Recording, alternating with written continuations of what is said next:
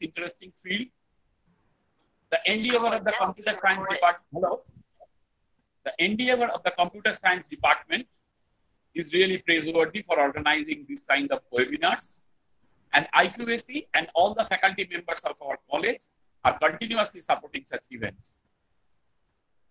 I will now invite all to participate in this interesting session. And over to Anupam. Thank you. Thank you, sir, for always being a pillar of support in all our endeavor. Now, I would like to request our IQAC coordinator, Dr. Chaitali Tobini, to kindly deliver welcome address. Madam, over to you. Good morning, everybody. Welcome to this international webinar organized by Department of Computer Science, Government General DT College, Singur. During this period, along with other departments of our college, the Department of Computer Science is organizing various innovative lectures. In the current scenario, the word computer has become a part of our very essence. They are trying to touch upon the plethora of applications of computer science. Today is no exception. Today our speaker is Dr. Rajdeep Mukherjee. He will be delivering a lecture on formal verification of real world softwares. A very hearty welcome to you, sir. And I want to thank the Department of Computer Science, Shondipan, Shomit, and Anupam for their endeavors. Thank you all. Thank you, madam, for your constant inspiration and motivation. Now, I would like to give a brief introduction about today's eminent speaker, Dr. Rajdeep Mukherjee. At present, Dr. Mukherjee is an applied scientist at Amazon Web Services. Before moving to Amazon, he worked as a principal software engineer in Jasper R&D team at Cadence Design System he obtained MS from IIT Kharagpur and PhD in computer science from University of Oxford.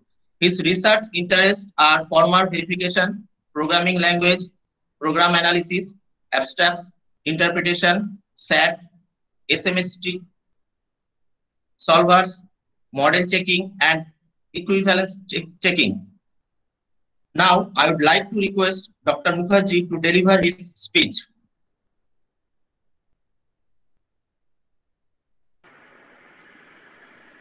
Uh, hi everyone. Uh, am I audible? Yes. Okay, great. Um, yeah, I think uh, thanks for the kind introduction. Uh, this is, uh, I think, uh, a great opportunity for me uh, to showcase uh, my research, and uh, I really appreciate the platform uh, that has been provided today. And as the introductory speakers have mentioned, uh, I think uh, being a computer scientist and being a computer science student, uh, some of the folks in the call, I guess, are also students, teachers, mixed bag. Uh, we all we all write softwares, and uh, nowhere in the point in history has software become so much important in our lives um, we uh, eat software, we breathe software, uh, we do softwares with everything. If you snatch my mobile phone for half an hour, I can't stay. Uh, if you stop my internet connection, it's hard to stay. Um, so with this backdrop, I think uh, given the condition in the world, we are all fortunate to be part of computer science so that we can all uh, deliver uh, and we can deliver in a way such that it is impactful. Um, so one thing which I want to do today is to uh, give you a real notion of softwares and how software verification is important and how it saves lives.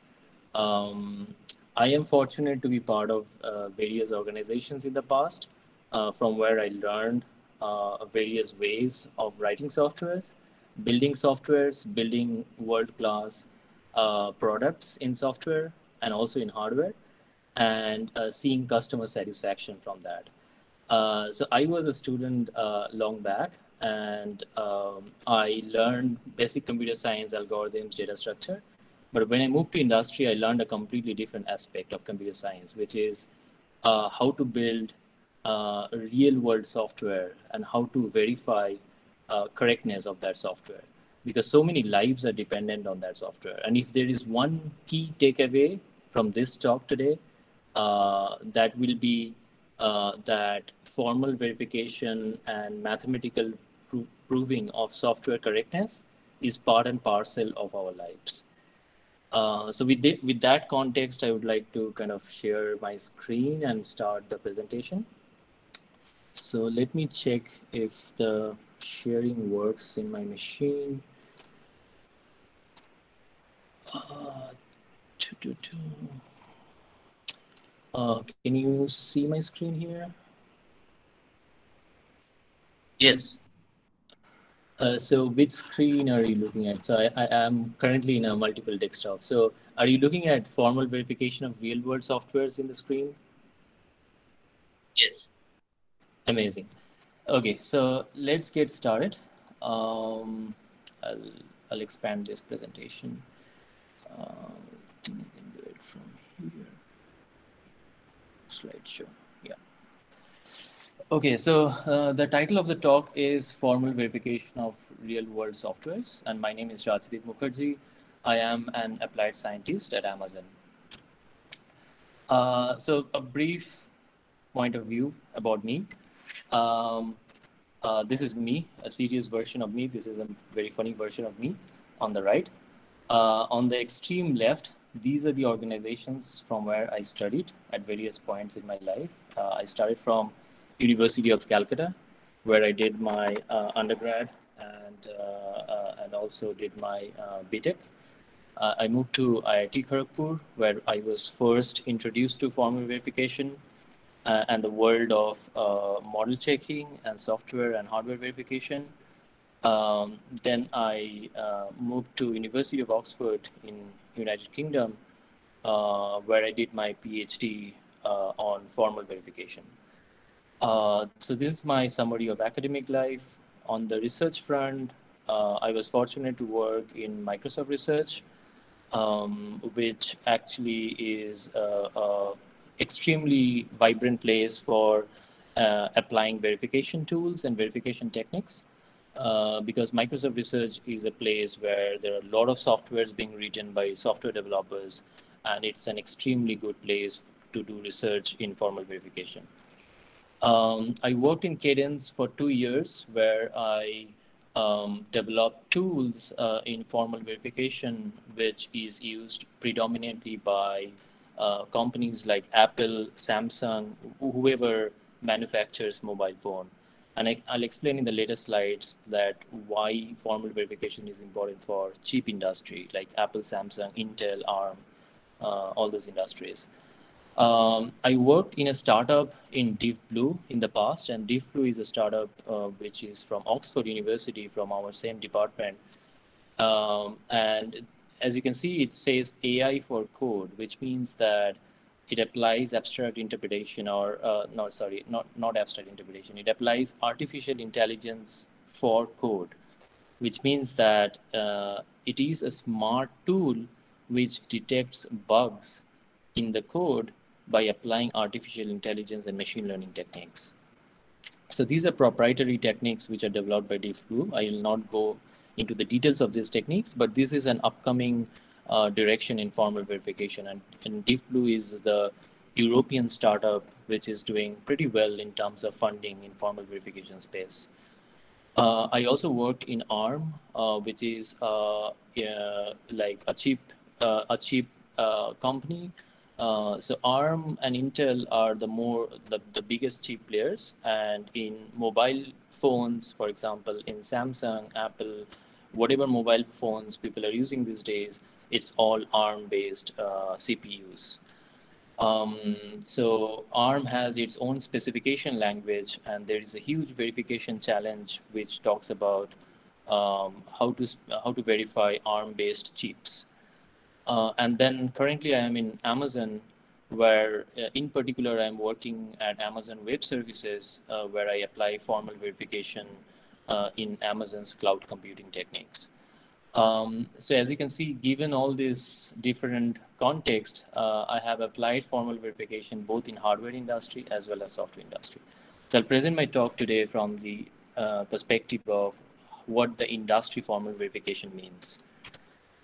Uh, so what it is all about formal verification so we all are computer scientists we all write lots of lots of softwares and as i sta- stated in the beginning we eat software we drink software we write software. Software is everything. And we write like uh, several thousands lines of code each and every day in order to make the customer lives better. So how do you check that the software you are writing is working correctly? So i i write software for cloud computing. And uh, this makes uh, Amazon sell products to companies like uh, Netflix or companies like uh, you know uh, avionics industry, for example, Boeing, where all the softwares are sold. Um, but who checks the software? Who knows that the software doesn't have bug? Uh, what is the guarantee? Who tests it? Who uses these tools?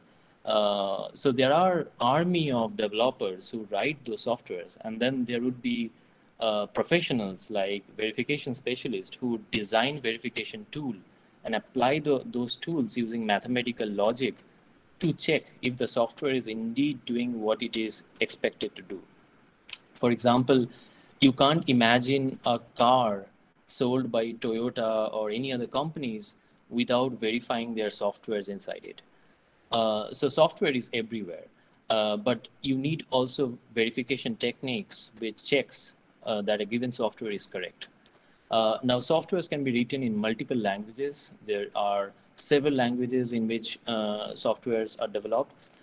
it varies from company to company. For example, Google is a is a kind of company which uses a lot of C++. Um, on the other hand, Amazon is a kind of company which uses a lot of Java and Python.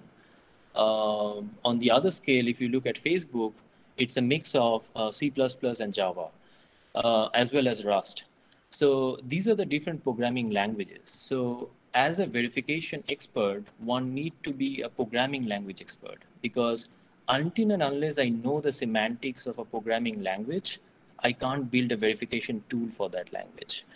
So formal verification tools what it does is basically it traverses it, it's a search problem given a code in any language either it's a c++ or java or python or javascript it builds a graph of all the executions in that code. And it builds a graph with some properties in it. And then it tries to traverse this graph and tries to search for bugs. Now one would argue that uh, how are these bugs represented in a program? So oftentimes uh, people write assertions in the program and the assertions are basically the way in which you specify that this is what is intended behavior of the software and this is what the software does. Now the way the software is written could be buggy, which means that it did not follow some specification in some corner cases. And maybe that's the corner case that uh, matters the most. So using the formal verification tool one would try to find all such paths and check whether there is a falsification of an assertion or a specification that the software is supposed to obey. Uh, so this is basically an, in a nutshell what formal verification is. Uh, now, most of you may wonder that what is the difference between testing and formal verification? So in testing, you would write targeted test cases or directed test cases that would only check part of your software. So if your software has, uh, let's say, n number of variables, then you would have 2 to the power n number of state spaces to traverse. Uh, using testing, you can't ever do write 2 to the power n number of test cases because that's infeasible. Even if you throw the world's uh, highest CPU power and computational power to it, it's not going to solve the problem. So formal verification is the mathematical guarantee in which it develops a model of a software and then it uses mathematical logic to verify that that model satisfies the specification. So I talked about formal verification in industry. So this talk would heavily rely on industrial application of formal verification. So I listed just few companies to name a few on the left, which are the software companies which heavily uses uh, formal verification in their day-to-day lives. For example, Facebook has a team uh, which actually applies formal verification in their WhatsApp application because WhatsApp is a very um, uh, useful and popular uh, chat service. Uh, but how do you guarantee that the end-to-end encryption that WhatsApp guarantees is not broken or is not buggy? So there are army of people or army of verification uh, engineers in Facebook who tries to apply formal verification tool to check whether there are bugs in the WhatsApp application uh, such that the end-to-end -end encryption that the WhatsApp guarantees is always obeyed and uh, customers uh, chat or private messages are not leaked out. There, and then there is Microsoft, which applies formal verification in the Microsoft operating system. So Microsoft has a huge team which applies uh, formal verification tools uh, to check the Windows operating system. And uh, it, the Windows operating system has been existing since uh, like 2000s, uh, in the year 2000s. And since then, Microsoft has built this army of formal verification engineers and also developed in-house tools to check the correctness of the Microsoft Windows operating system as well as the various device drivers. So uh, I personally use Mac operating system, but I know folks who use Windows operating system. Uh, in Windows operating system, you'd oftentimes get uh, updates in the device drivers. Uh, now, Microsoft has built a verification tool called SLAM, which actually checks bugs in the device drivers because device drivers, if they are not checked to be correct, then they can have uh, a really uh, manifest uh, different types of erroneous behaviors, which is bad for a consumer or a customer. And uh, the third one is Google. So Google is uh, a, a, very funny company. It uh, has a lot of formal verification applications in several of its products. like a lot of folks uses Google Maps and Google Search. so it uses heavily like formal verification in Google Apps and any Android-based uh, uh, operating system. Uh, so again, like these are the top three companies which uses formal verification in all, almost all of their major products. And then there is Amazon, which uses formal verification for all their web services, cloud computing. Uh, and this cloud computing uh, infrastructure in Amazon is very API specific. So API stands for Application Program Interface. So let's say I have built a product which uh, has an API. Let's say the API name is uh, uh, Foo. So uh, customer use these APIs to access Amazon Web Services for accessing cloud computing, for doing machine learning jobs, uh, for training their model in machine learning, for doing like different types of speech recognition, and uh, natural language processing and so on, so on and so forth. So how does Amazon guarantees that all these APIs that Amazon is building as part of their Java SDK or Python SDK, these are properly used by customers? So uh, Amazon has uh, like several scientists who are working in this domain to just uh, ensure that the APIs that the Amazon developers are developing are actually correct APIs that they guarantee atomicity property, they guarantee mutual exclusiveness properties, uh, concurrency properties. So these are the types of properties that are often checked with a verification tool. And we develop uh, the techniques for doing that inside Amazon. And then there are several other companies, I have not named them. Like there would be a list of 500 other companies which uses formal verification in their day-to-day -day lives. Uh, and then there on the right side, you see a bunch of hardware industries. I'm not going to each and every industry here, but you can imagine from my experience i have seen uh, like developers open start their day in the morning with a cup of coffee in their tea in their in their in their uh, desk and start using a formal verification tool to find bugs right? So intel cannot ship uh, their cpu without finding bugs. So as a manager of a company if you see that there are no bugs in the cpu you will have nightmares because like softwares and hardwares are not correct. So having bugs is always good, and our job is to find bugs. So uh, if if a manager sees that uh, a CPU doesn't have bug, it is really a nightmare. So if there are bugs, then that's always a good case because then that means that the verification tool is working correctly and finding those bugs. Uh, and then the developers going and fixing them. Uh, and then there is Apple, Samsung, ARM, NVIDIA. So they all use uh, formal verification in one form or the other. So uh, I would use few terms here. Uh, there are uh, different taxonomy of verification. what does functional verification means? so at the functional level, you specify that your software should behave in certain way.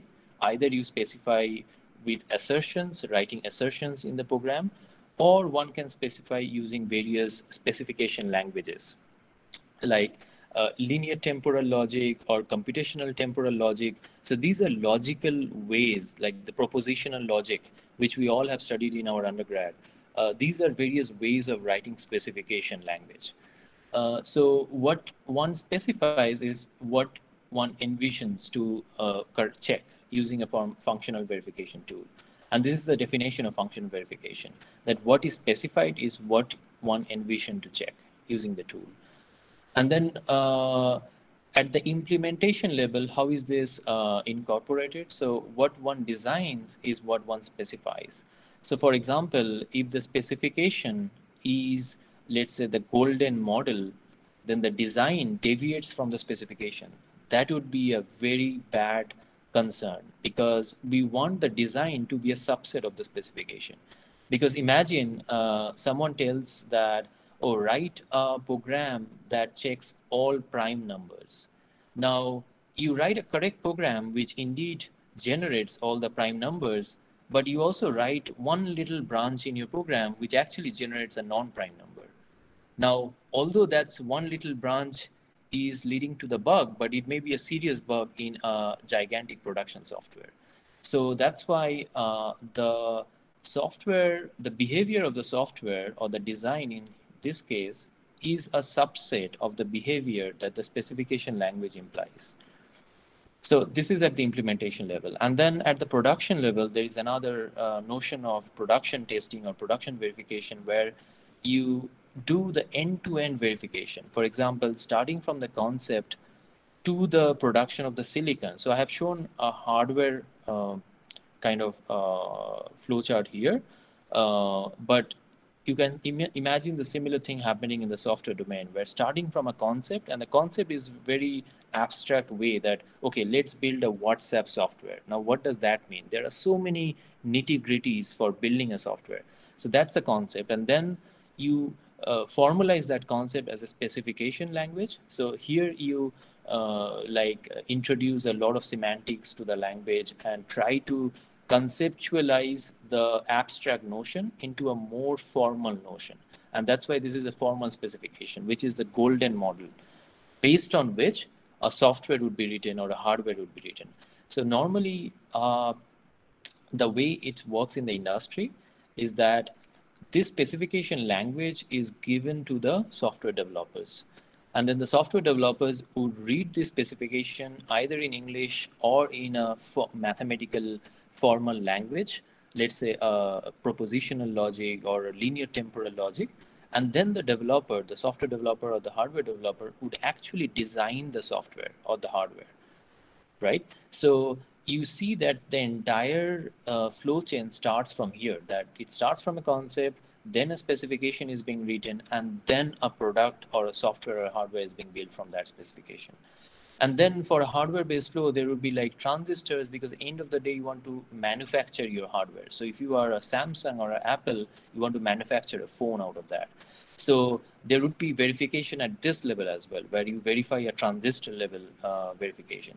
And then there would be a silicon level verification, which means that you do the end-to-end verification, starting from the software to the hardware and their integration. So uh, this is the taxonomy of verification. Now I will uh, actually jump on to uh, a slide here, which talks about uh, formal property verification, which is uh, a way of doing model checking. Uh, now, a model here is a model of a software or a hardware and is typically represented as a finite state machine. Now, in the undergrad level, we all are aware of uh, what a finite state machine is. So it's a, it's a state transition system which has some starting state, some uh, transition uh, function, and some uh, end state. So typically designs uh, are represented as finite state machine. And a specification is basically a temporal logic or any mathematical logic which uh, is used to specify what this finite transition system is supposed to do, right? So let's say we give an example like this, that if a request is received, it will be processed within three clocks. Let's say this is a hardware transition system. And here we have a request and the specification says that if a request is received, then we expect that to be processed within the three clock cycles. And this is, let's say, the transition system on which we will run our uh, property. So given this transition system, if there is a branch in that transition system which do, do not guarantee processing of the request within the three clock cycles, then that means there is a bug in this finite state system. And a verification tool would actually encode this specification in a mathematical logic and then it would encode this transient system into a into another symbolic formula. And i'll show you how that encoding is being done. And then it will use a sat solver or a satisfiability solver. So we all know what an np complete problem is right? So satisfiability solver is a classical np complete problem. So given a propositional logic we want to test whether this propositional formula has a satisfying assignment or not so this is a classical NP complete problem. And we use a lot of satisfiability solvers and satisfiability modulo theory, SMT solvers, in order to solve the formulas that are generated from this transition system and this specification here. So uh, in a nutshell, this is all about formal property verification. The reason we say property is because this English sentence here is actually modeled in a uh, mathematical logic, which is the property for that design. And uh, I already explained what formal verification means. And model checking is just uh, one technique of doing formal property verification. There are other bunch of techniques for doing formal property verification. Uh, but today, uh, just within one hour, I won't be able to complete all the different aspects. So I'll focus on uh, mostly the, um, the, the, the model checking aspect. So let's move on to the next slide. Um, so here um, I'll explain basically uh, what it means to uh, test with simulation versus formal. Uh, now I talked about testing, right? So testing is much more directed where you write test cases and then you do simulation. So the coverage of the testing is always as good as the test cases, right? So you are never guaranteed to uh, write exhaustively the set of all test cases that a program should have. So that's why, uh, as you can see on the left side, um, the test cases are these blue dots here. And uh, these are the test cases which are covering this part of the design. So if you consider this whole circle, uh, this Venn diagram as a kind of the entire state space of the design, then these blue dots represent the test cases that are actually tested for this particular design. And the red dot is where the bug or the error lies, right? So imagine you wrote a software and uh, the error is this uh, red dot in that software. But the test cases that you have written are these blue dots. So you one would faultily say that, oh, my software is correct, but no, your software is not correct. It has a bug. And the reason it has a bug is because your test cases were not exhaustive to capture that bug, right? So, and for a human, it is impossible to write that many number of test cases because softwares are millions and billions lines of code. Now, how do you ensure that uh, you have so many test cases to exhaustively test that your software doesn't skip any bug? right? So this is a classical uh, like diagram which shows that simulation is not exhaustively complete. But what formal verification guarantees is that this mathematical proof, right? So it is not test case driven. it is basically trying to solve the same puzzle by building a symbolic formula from a design and a symbolic formula of the specification and then using a satisfiability solver in the back end to reason about that design. So in that aspect, it's much more exhaustive and it's much more guaranteeing that if the verification tool runs on the software and it comes back and says, I haven't found any bug, then that means that indeed the software is correct, which the testing cannot guarantee, right? But if the verification tool runs on the software and it comes back and says, I got a bug, then that bug is actually a true bug, right? So these are the guarantees which are provided by a formal verification tool and hence the application of that tool becomes very relevant in an industrial context. So switching to the next slide, um, I talked about that uh, a classical formal verification. So now I'll focus mostly on model checking, which is a technique of formal verification. Uh, so this is a classically a search problem, right? So all we are trying to do is to search for a error state or a buggy state in the program. Uh, now, the way this is done is by, you can imagine that it's trying to search for error state by expanding this circle from inwards to outwards. So uh, the way this works is that uh, this search algorithm works is that uh, we start from the initial state of the transition system. We apply one step, uh, one next step function. We apply the second next step function. We apply the third next step function and so on. Now, there could be bounded uh, number of loops in the program. So oftentimes when we write software, we use loops, right? In C, we write for loop, while loop. Uh, in, in, in other languages, we have different constructs for loop, but we all use loops to do iterations on something, right? So if you want to fetch uh, a set of key and value pairs from a map data structure uh, in standard library, then you have to write a loop to fetch those key and value pairs, right? So loops and part and parcel of our life. So, uh, and loops can be bounded loops can be unbounded. Uh, for unbounded loops, they often lead to infinite execution.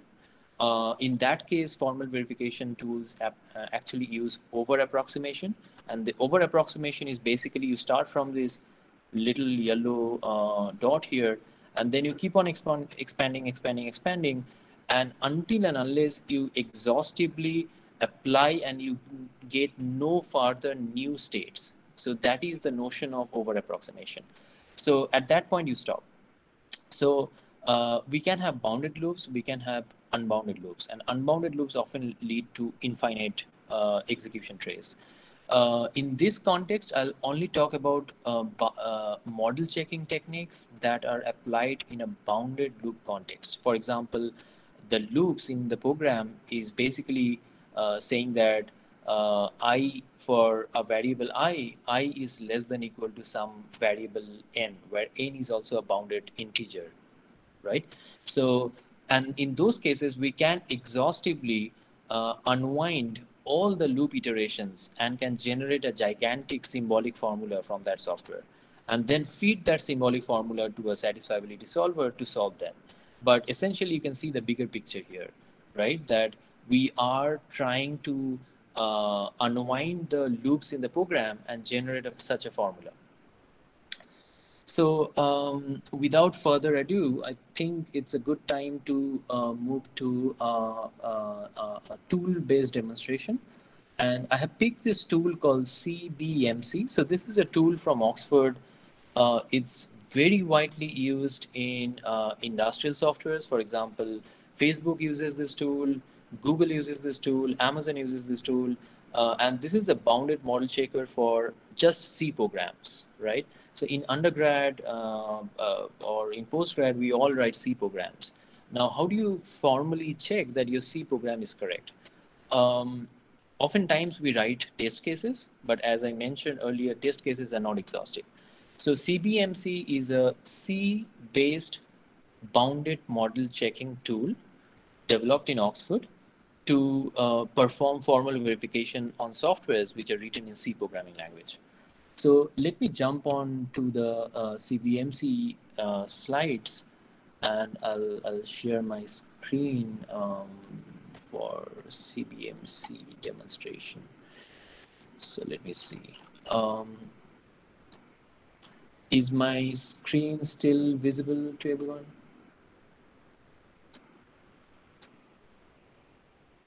Yes. Okay, perfect. So, um, sorry.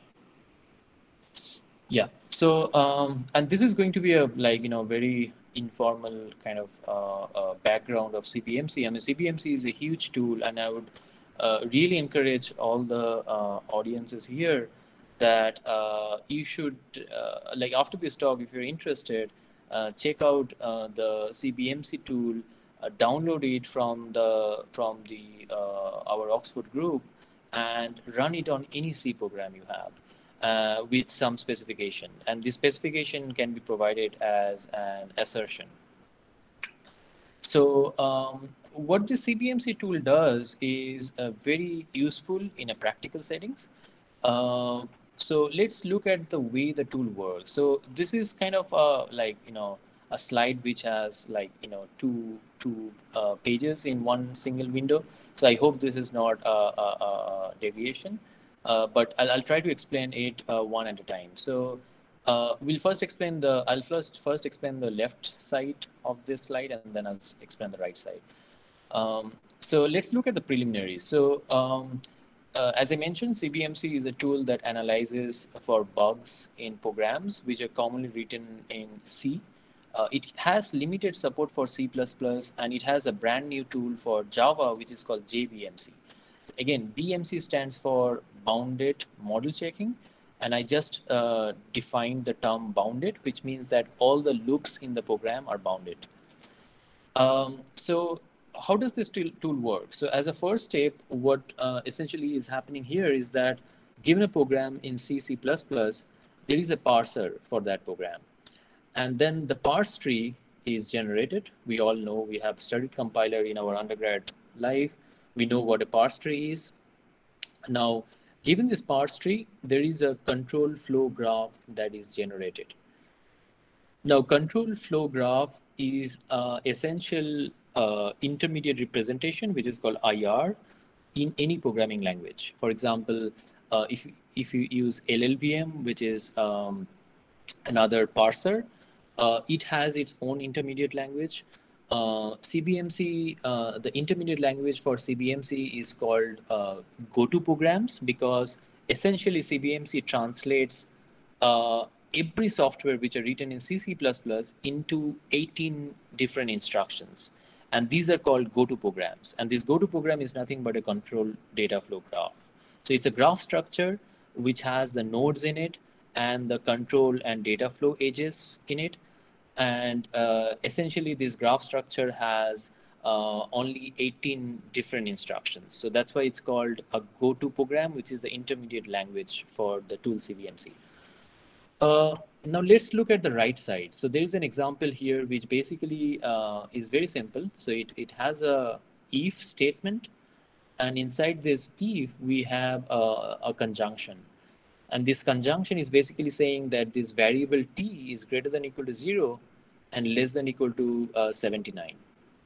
So let's say this is an arbitrary uh, condition defined in your software.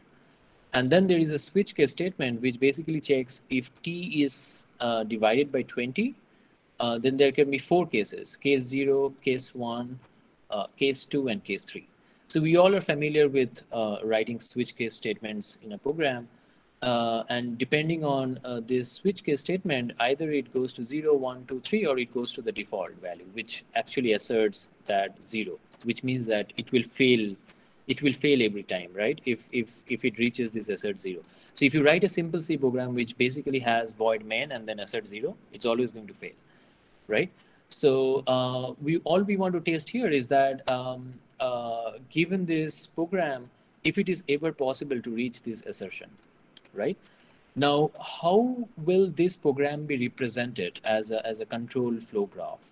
Now, you can imagine that if this if is satisfied, which means that this branch is taken, then this condition has to satisfy, which is basically 0 less than equal to t less than equal to 79. And then once this is satisfied, since the switch is nested inside this if statement, uh, there will be these different cases, case zero, case one, case two, case three, and then the default case. Now, each of these cases has has uh, like body, right? And then a break statement. Now, uh, if this case zero is satisfied, it goes to its body, which is the, the, the branched out from the case zero. If the case zero is not satisfied, then t divided by 20 is not equal to zero because the switch case is uh, based on t divided by 20 expression. So if case 0 is not satisfied, then this age here must satisfy t divided by 20 not is equal to 0. Similarly, you can see wh where this is all going, right? So in case 1, if this is satisfied, then it will enter this branch. Else, if it's not satisfied, then t divided by 20 is not is equal to 1, right?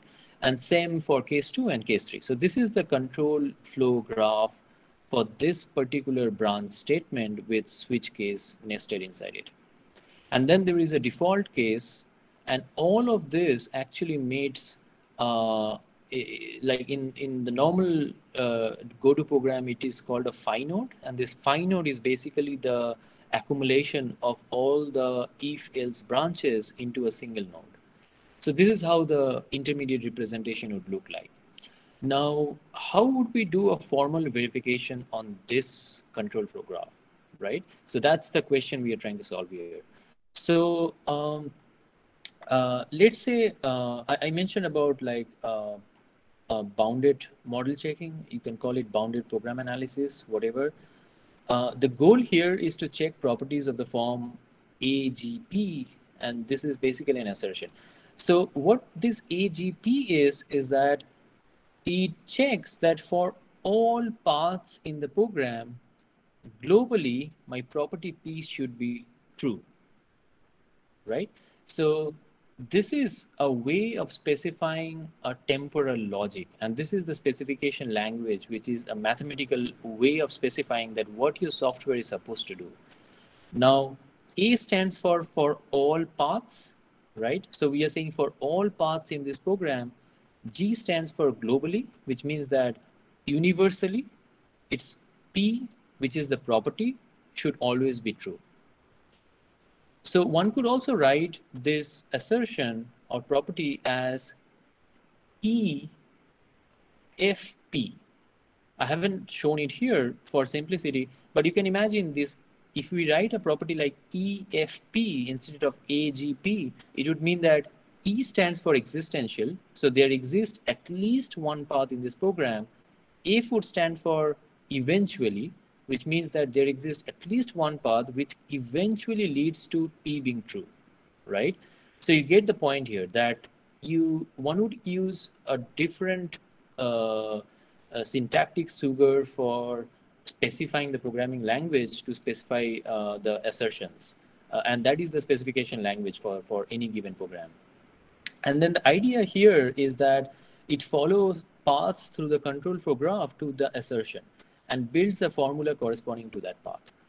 Now let's look uh, at a concrete example here. So let's revisit this example again, uh, where you see on the left, the uh, edges are now highlighted with red marks here, right? So this red mark actually indicates that I'm interested in this path in the program, right? So let's say my value of t is between 0 and uh, 79. And then I have a switch statement. And then let's say the value of t is such that that t less than t divided by 20 is actually not satisfied, but t divided by 20 is equal to 1 is satisfied. So I did not enter case 0, but I entered case 1, right? And then I exited from this if. Now, how would that be modeled as a path formula in the program, in the actual uh, verification tool? So this is the formula that will be generated inside a verification tool by traversing this particular path, right? So what are the different, so this is a like conjunction, right? So what are the different conjunctions for this particular path? So it says that t is between 0 and 79 and t is t divided by 20 is not is equal to 0 and t divided by 20 is equal to 1 because it's taking the case 1 here, which is true case. And then what are these statements? These are basically the statements in this case 1, which is this TEM 2 and TEM 3 assignments. So that's why this TEM 2 and TEM 3 assignments are, are here, right? So um, this is the specification uh, or, or this is the symbolic formula that is generated by encoding one path in this program. Now, for completeness, the verification tool would encode all the paths in this program. So it's going to be a disjunction of these conjunctions, right? So, and that's why this is called a conjunctive normal form formula. So this is one path. There will be another path which goes through the K0 branch and that will have its own formula. And then there will be a disjunction of all these conjunctive formulas. So once these formulas are constructed, what is essentially done is that a SAT solver or a satisfiability solver is called.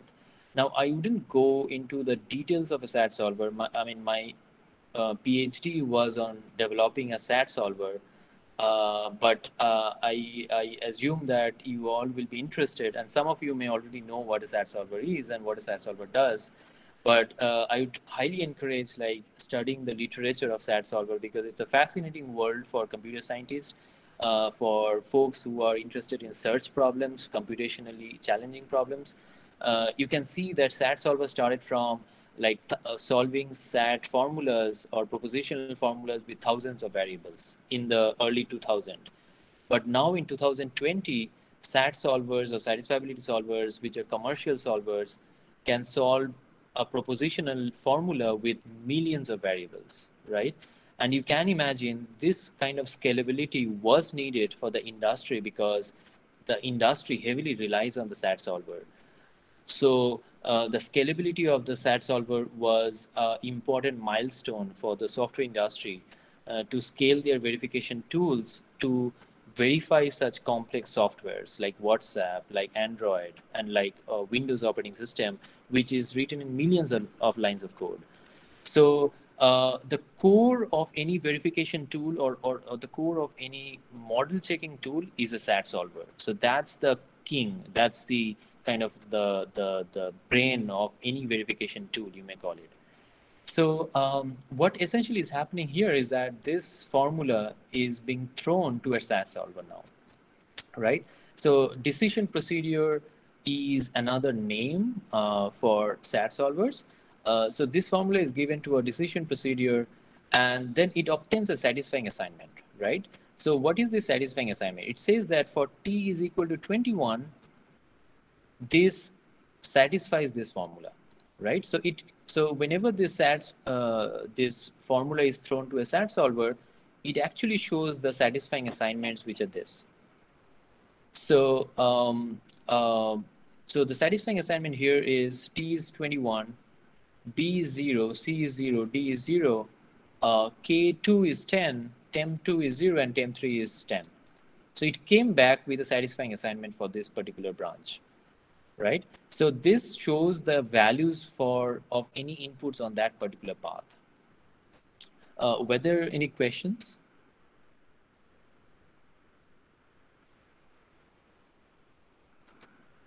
Okay, I take that as no.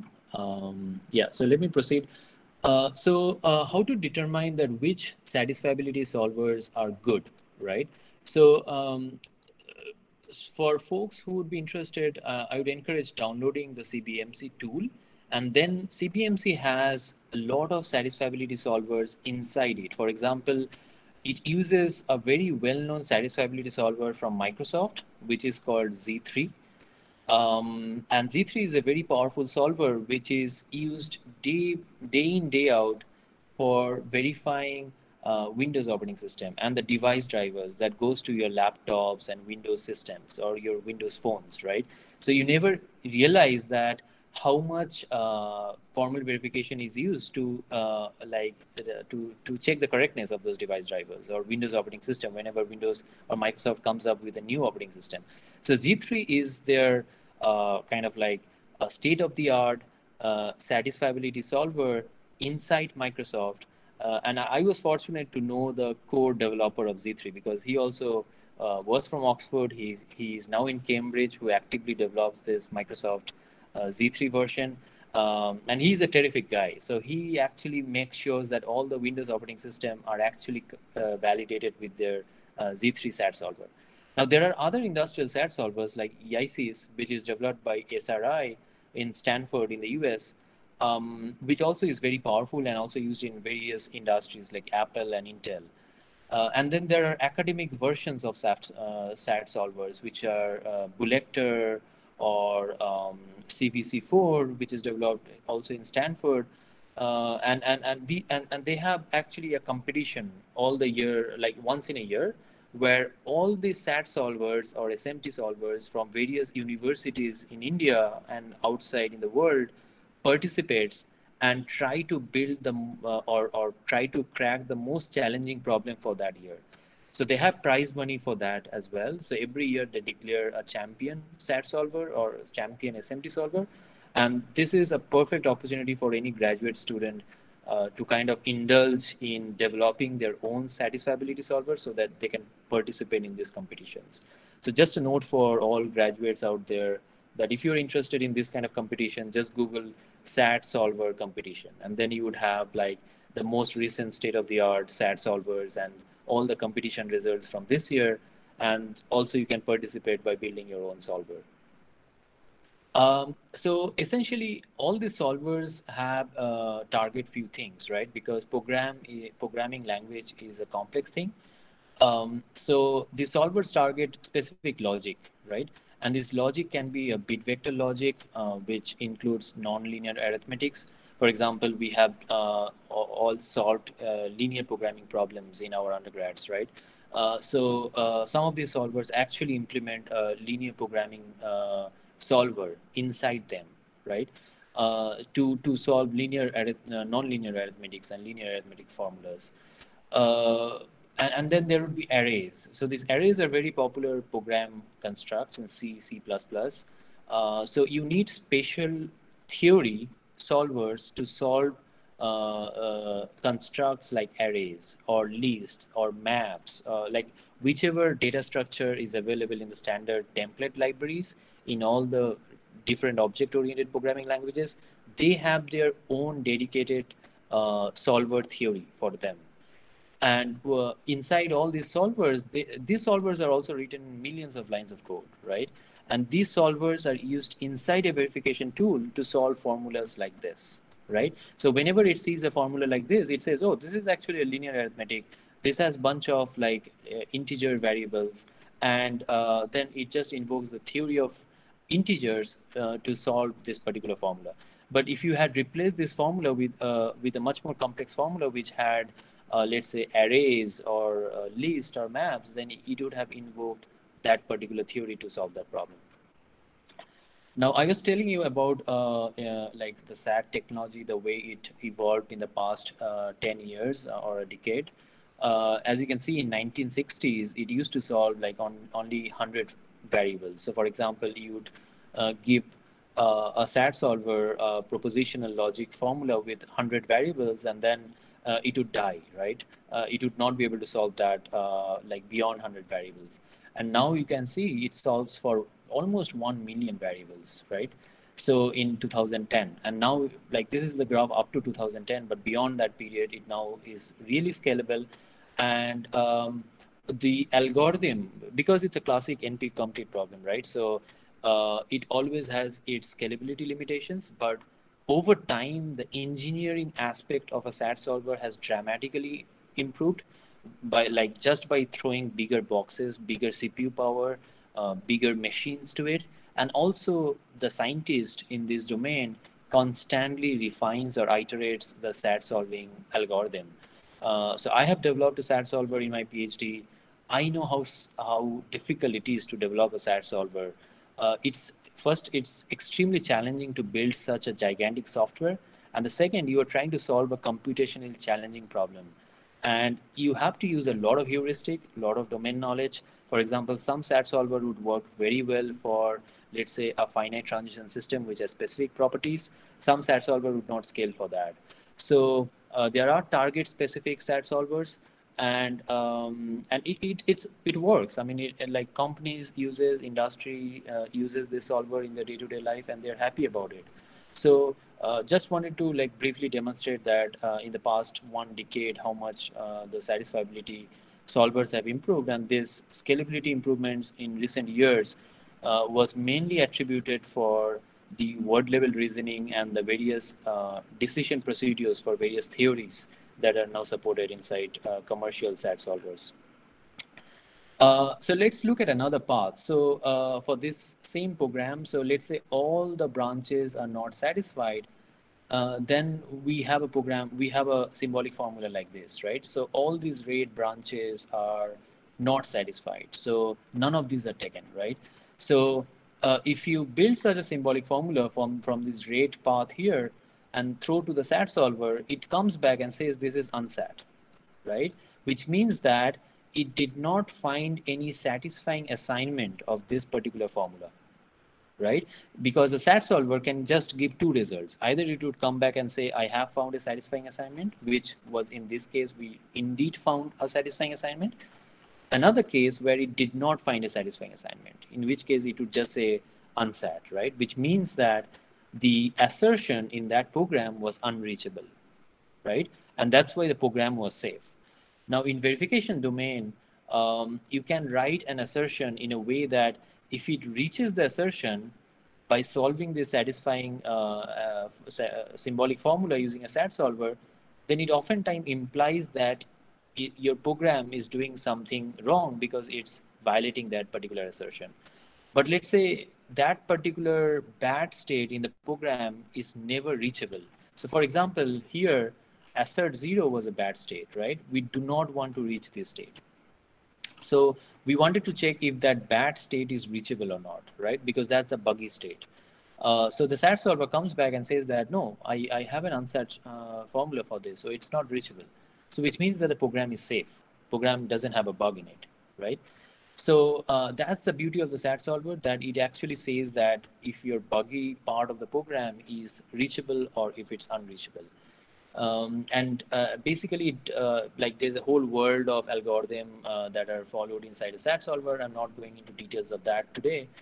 Um, but essentially, um, there are like programs like this uh, where uh, typically a variable is assigned and then a variable is incremented inside a condition. Uh, and, and, and the way to generate a symbolic formula from them is by annotating this variable with different timestamps, right? So you see x1 is zero, and then uh, x1 is x0, uh, sorry, this will this is wrong. So this will be x0 is zero, and then y0 is greater than equal to zero, and then x1 is equal to x0 plus one. So this is actually called a static single assignment form. So each of these formulas are called static single assignment. And then uh, you take a conjunction of all these formulas and then generate one gigantic symbolic formula from the program. Uh, uh, there are several other things, like for example, how pointers are handled. We all are aware of uh, writing pointers in program. Uh, and, and typically in C, you would use malloc-like functions uh, now, if you're interested in seeing that how the pointers are modeled as a symbolic formula, this is one way of modeling it. Uh, there's a whole bunch of research that goes inside it, like how to model this may point to analysis, because a pointer can change, uh, like uh, like typically the value that it is pointing to can change, right? So it's a it's a physical address in the memory which actually points to like whatever the value is, right? So how do you model that uh, may point to analysis in the symbolic formula such that uh, the SAT solver is actually able to interpret it in a correct way? So there are challenges of encoding uh, things like malloc and complex things like you know loops, which are demonstrated on the right side. That um, uh, like if you have a loop in the program, you would oftentimes do unrolling of the loop, and this unrolling is basically determines that how many times the loop has to be uh, unwind it in order to generate a formula for the, from there. So this is typically called bounded model checking because that's where the bounded factor comes into play. Um, so uh, these slides are free. I mean, I, I can forward that to Sandeepan or after this talk, and he can distribute it uh, for folks who are interested. Um, but I guess uh, due to uh, kind of um, almost close to the time, and in the US it's 10, 10.25 in California time. So I'm assuming it's almost uh, 5 minutes to 11 in Indian time. So for the best interest of time, I think uh, I'll, I'll skip the remaining of the slides, but I think uh, uh, like folks in the call have got uh, a decent overview of what a formal verification is. It's not theory; it's it's all practical. It's used in uh, like everyday lives for many people, and I, would just like to um, like end with one key takeaway from this talk uh, that uh, without doing formal verification of software and hardware, uh, none of the car companies uh, can sell cars. For example, Toyota has a huge army of formal verification engineers uh, who, who, does formal verification of the of the softwares inside Toyota, and, and the cars today, for example, Tesla, which is an electric car in the US, they employ heavily uh, softwares inside their cars, right? Everything is happening via a software. The entire infotainment system in your car is supporting Android and iOS, and imagine the complexity of the software for that. The temperature control inside the car, and all these things are software controlled these days.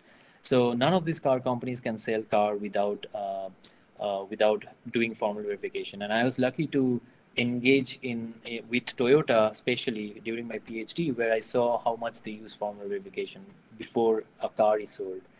And then there is airline industry, which actually cannot sell air, aeroplanes without doing formal verification because we all uh, take flights, but we take that into granted that uh, the flight is running well. But once the pilot takes off, uh, I think uh, the rest of the journey, the pilot just is hands free because everything is controlled by software once once the flight takes off, right? Uh, so uh, we work with Boeing. Boeing is an industry which actually develops these aeroplanes. Uh, so there are like a lot of complex software problems in Boeing, in uh, Airbus, which is a French company which develops aeroplanes. Uh, and and they, they typically use formal verification tools to ensure that the uh, simulation software or, or the controller software in their aeroplanes are actually working correctly. And imagine the millions of lines of code used to write those controller software in an aeroplane. And uh, formal verification is part and parcel of Boeing and Airbus kind of companies who sell aeroplanes. And then I talked about chip industries such as Apple, Samsung, who manufacture phones, and none of these phones would have been manufactured without without doing uh, formal verification. And same story goes for Facebook, Google, and Amazon. So I hope I'm able to convey the message that this is a very practical field. Um, and it's a very evolving field. There are a lot of machine learning applications happening in this field for uh, verifying softwares. Uh, everyone wants to be software engineers, but very few people wants to actually check correctness of software, which I, to my mind, is uh, is the most important aspect of software. I mean, I'm not biased towards it because I've done PhD. Uh, I mean, I, I don't know anything better than that. I'm, otherwise, I'll be jobless. Uh, but I can strictly say that given my experiences in hardware and software industry, this is the need of the hour. We want more graduate students participating in uh, writing softwares. I, I don't want to convey the message that everyone needs to have verification uh, expertise, but I'll convey the message that write software. If you are a computer scientist and if you're listening to this talk, don't go to sleep, don't go to bed without writing 100 lines of code each and every day. And that is the mantra, that is the kind of like uh, attitude one should have because as a computer science student and as a computer science faculty, as a computer scientist, if we are not writing software, we are not advancing the field. So that's my message, and I'll conclude with that. Thank you. Thank you, Dr. Mukherjee. Uh, it was very enlightening uh, introductory talk on formal verification and uh, the different aspects how the real world is uh, moving with these uh, formal methods and verification in the hardware as well as in the software industry and uh, all of them are heavily depend on these techniques and it was very very wonderful lecture And uh, moving on to the question answer session, uh, we have some questions. Uh, uh, there are a few questions from Arpita Bhattacharya. Uh, her question is, uh, it is like writing a grammar and then is it possible that we can write some platform which can operate on any language? Um, that's a great question. I, I, I, I, will try to answer that. Um, and uh, uh, because there are some abstract notions in, in the question, but um, in general, writing the platform would imply that writing a verification tool. Um, and this verification tool in turn would have a parser inside it, which would parse the source language. And uh, then it would build the control flow graph. And then it would build those symbolic formulas, which I was showing you from that control flow graph and then it would pass that to the SAT solver. So these are the various stages uh, of uh, operating or, or developing this platform, if, if you meant a platform to be a verification tool. I hope I answered that correctly, but I'm, I'm happy to follow up on that question. And also, she asked uh, in case where we do not know the outcome before, that is uh, for in case of unsupervised, in such scenario, how uh, the SAT solver reacts.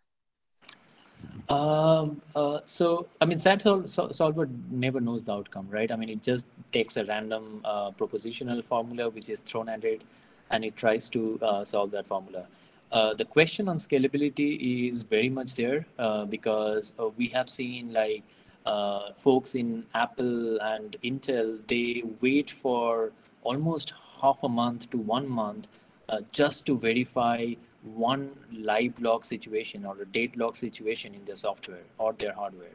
And they are willing to like, you know, pour in lots of millions of dollars to buy verification tools to even wait for a month in order to for the verification tool to terminate and provide an answer. So we have seen cases where verification tool runs for months and then the SAT solver is able to eventually give an answer that yes, this is a satisfying assignment or no, there is no bugs in the program.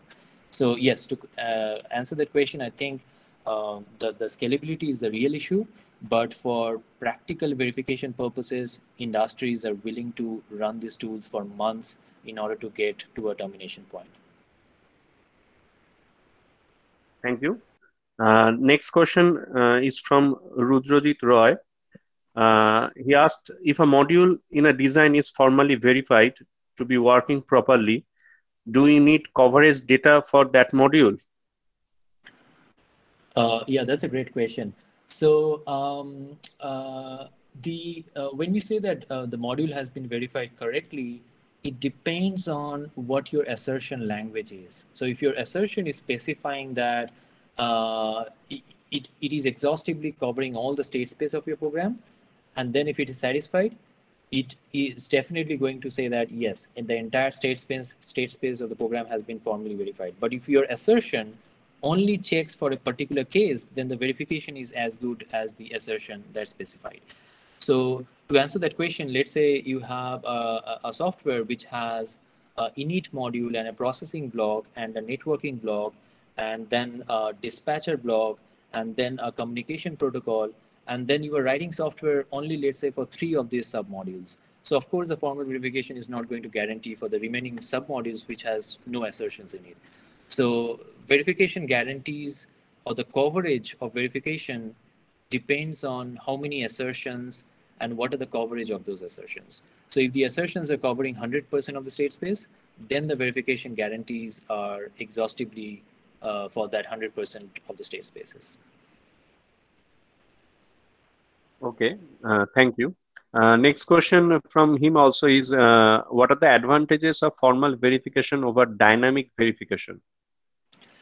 Um, so dynamic verification is a field by itself and there are different flavors of uh, doing uh, dynamic verification. So in dynamic verification is a mix of writing assertion along with writing test cases right? So uh, if you do a combination and i have seen industries doing combination of both because at some point your satisfiability solver will, will run out of steam and then you have to write test cases right?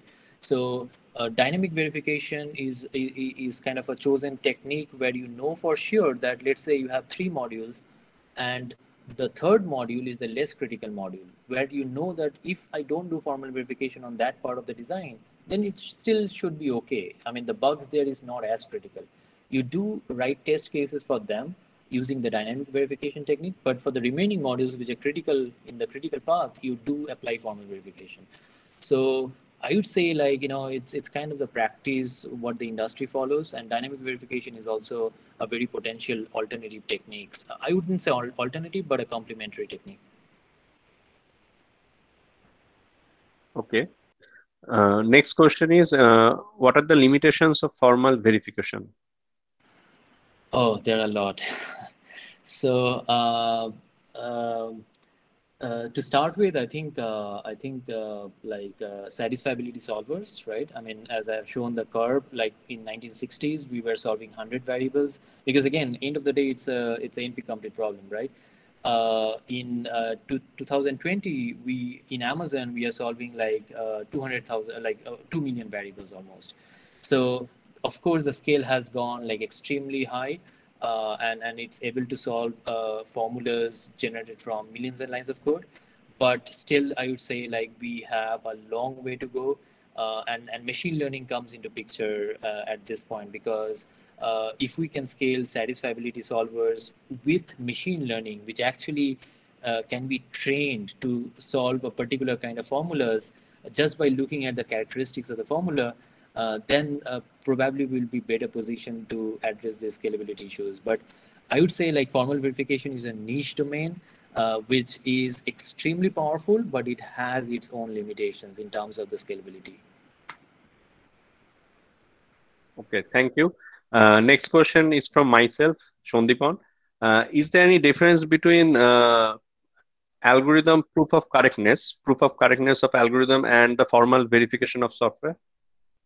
Yeah, that's a great question, Sandipan. I think uh, I think the proof of correctness is exactly what a formal verification tool does. Because end of the day, uh, if you get a formal proof for the software, for example, the uh, remember the case I have shown you that where you were uh, passing that symbolic formula to the SAT solver, and the SAT solver comes back and says, "Hey, I, this is unsatisfiable," which means that inside the solver, the solver has done a mathematical proof now all we need to do is to just spit out that proof to the to a kind of like a text file or or or some uh, like you know uh, JSON configurations.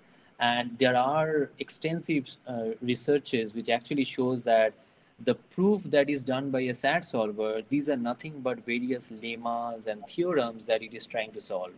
So um, end of the day, I would say that uh, if you take a Fibonacci, Fibonacci series and try to prove that your Fibonacci series program is indeed doing Fibonacci series computation, then uh, you can expect the same uh, proof to be generated by a SAT solver. And you can compare this to proof which are written by human and which are written by a SAT solver internally when it tries to solve that formula, and you would get a commonality between them.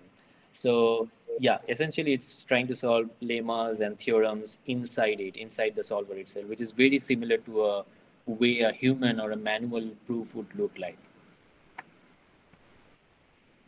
Okay, okay. Thank you. Thank you, Dr. Rajdeep Mukherjee. Uh, so uh, uh, we have done with our question answer session uh, and the feedback link is given in the chat box. I would request the participants to fill the feedback form uh, and you will receive the e-certificates within three days. And uh, that's all from here. Uh, once again, thank you, Dr. Rajdeep Mukherjee, for your valuable time and this uh, enlightening lecture. Uh, I hope uh, you would be available in the future for more interesting talks. Yeah, I would love to. Like, this is my first time I'm doing something from the US uh, to India with so many people on the on the bridge. Uh, but yeah, this has been a fascinating experience. I think uh, I can go on for another two hours on a Friday night at 12 uh, midnight. But yeah, I think I think this is amazing. I, I really like this, and uh, always open to talk to students and uh, upcoming talents. I'm pretty sure like there are a lot of very bright and talented people in this call Uh, but feel free to like you know uh, like contact me over email or kind of uh, uh yeah to stay in touch. Uh, would be happy to follow up with any any questions that you may have. But yeah uh, the mantra is write code write software break things break things fast and and don't sleep. Don't be satisfied with what you are doing because there's so much things to learn. There are so much uh, satisfiable problems. Indeed. Yes. Okay. Thank you. Thank, thank you. you thank you. Thank you. Uh, thank you. Thank you all the participants uh, for your uh, participation. Uh, again, I am requesting all to fill the feedback form uh, as early as possible. Okay, i am sure you have enjoyed the session and uh, obviously this is a something new topic uh, you would not have probably uh, go through in your undergraduate or postgraduate so this is an uh, one of the new branches probably one of the new branches uh, as far as the students are concerned. So kindly go through the lecture. We'll provide it in our youtube channel. And also the also also google it uh, about the this topic. And you will know more about it. Thank you. Thank you all. Uh, now we are ending the session thank you. Thanks everyone. Take care. Bye